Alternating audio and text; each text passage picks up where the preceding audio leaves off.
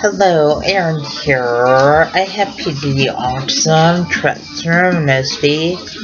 Also, I'm mentally disabled and have learning disabilities. I'm first grade level at reading, second grade level at math, and I'm mentally first grader age. Also, because of medications I take for my mental disabilities, I have a rapid heartbeat, but I take medications for my rapid heartbeat. Also, I have fears of crowds, loud sounds, and yes, when people ask me over their house, I don't know how to respond. And that's where distraction. Also, it's hard for me to interact with others. Also, autism is kind of like a brain delay that affects social interaction. And autism makes it hard to process what other people are saying.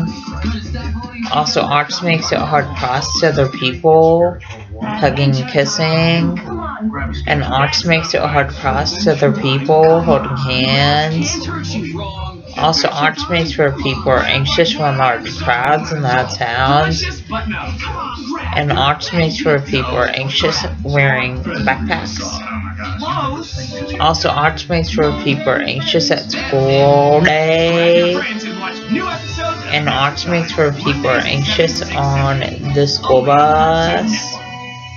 Also, arteries for people have a hard time tying shoes and buttoning shirt collars. Also, just to let know, the signs of autism are lack of social skills, lack of eye contact, lack of speech, and lack of communication. And when people act up in school, and that's not autism. Also, when people have low grades in school, that's not autism. Also, when people stim at school, that's not autism. Also, stimming is kind of like hand flapping and hand motion and hand movement and hand fidgeting.